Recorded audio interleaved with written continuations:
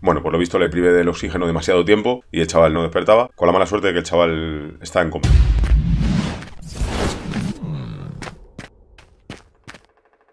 Resulta que el martes a las 7 de la tarde me fui a, con el perro a dar una vuelta. A la que salgo de Arganda, la carretera de Valencia y había una pequeña retención. Bueno, y resulta que se me ponen unos chavales al lado y empiezan, Borja Escalona, Borja Escalona. Y me empiezan a decir, Riquita humillado, Riquita humillado. Y aceleran. Aceleran con la mala suerte de que, eh, evidentemente, parecía que se había terminado la retención 100 metros más adelante, no volvimos a parar. Entonces ya no eran tan valientes. Entonces, uno de ellos empieza, y empieza a decir tonterías. Empieza a faltar al respeto y le dije, te estás calentando y esto no va a acabar bien. Entonces, eh, de repente me cae como el tapón de un. Me cae y me da la ventanilla. En ese momento, como estaba la retención, me bajo del coche y empiezo a ir detrás de ellos. Ellos empiezan a acelerar y como a salirse así por la, por la derecha. Bueno, empiezan como a intentar salirse, ¿no? Como a intentar adelantar al otro. Vieron una retención. Entonces, bueno, me pongo a su altura y le empiezo a dar golpes en la ventana. Entonces se baja el copiloto con una katana. Yo reculé, di dos pasos para atrás, me quité la camiseta, me laté a la mano. El tío me tiró dos lanzadas y puse el brazo, las paré y con la otra mano cogí la katana. Tiré de ella, me he hecho una herida en la mano, como podéis ver. Prácticamente me he seccionado, seccionado los tendones de la mano, aquí lo podéis ver claramente. Y bueno, con esa misma katana la di la vuelta y la clavé en la rueda. En ese momento vi que se abría la puerta de trasera derecha, entonces yo cogí el coche por detrás, lo levanté,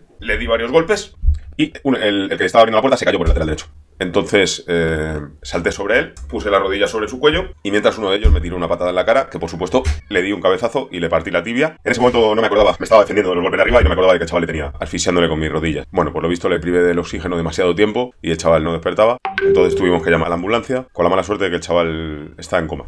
Apareció la Guardia Civil, automáticamente me corrieron a porrazos, jactándose y riéndose. No tardaron en detenerme y llevarme a los calabozos. En los calabozos he pasado dos días bastante desagradables, no me han dado de comer, no me han dado ninguna manta, no me han quitado las pulseras en todos estos días, me han vejado, me han humillado. Hoy por fin a las 9 de la mañana me han llevado a los calabozos de Plaza, de Castilla y alrededor de las 12 del mediodía me han subido ante la presencia del juez. Hemos estado esperando a ver cómo evolucionaba este chaval, el que está en coma. Gracias a Dios está fuera de peligro. Anoche a las 4 de la mañana despertó, decía que no se acordaba de nada, pero por lo menos es buena noticia, ¿no? Más que nada porque así no me voy a tener que comer homicidio. He estado hablando con mi abogado estos dos días, me ha dicho que lo mejor era aceptar los cargos, había muchos vídeos y había muchas pruebas de todo. Además se ve como yo soy el que va por su coche. No se ve en ningún momento que, que me tiren nada ni que me provoquen. Hemos conseguido, he aceptado los cargos, aún así me piden 6 años por intento de homicidio. El 4 de, octubre me tengo que presentar en la cárcel que yo desee, voy a estar en preventiva, no sé cuánto tiempo, bueno, hasta que salga el juicio y, ya veremos qué pasa. En principio no os voy a engañar, esto espero que quede entre nosotros, no voy a entrar preso, voy a coger un vuelo y me voy a ir a Miami. Me ha dicho mi abogado que esto todavía no cuesta como antecedentes, de momento puedo volar, así que me voy a ir a Miami hasta que ese hasta que ese cabro caso prescriba, perdonad, es que estoy muy nervioso. Solo quiero pedirle perdón a la familia de, a la familia de este chico. Es cierto que ellos me provocaron, pero yo no debería caer en estas provocaciones. Me temo que esto ha trascendido, esto ya, esto es bastante más grave. Si yo hubiera estado un minuto más de ese chico, quizás no lo habría contado. Bueno, yo le agradezco a Ricky de no seguir, de no seguir con esto porque, a ver, en realidad Ricky tiene bastante culpa de todo esto. En esos vídeos Ricky me humilla de la manera más terrible y brutal. Indirectamente es por culpa de Ricky que me está dando una paliza soberbia y sus niños de 11 años no paran de hacerme bullying en todos lados. 10 minutos, ya está. Con que os hayáis comido estos 10 minutos a mí ya me es suficiente.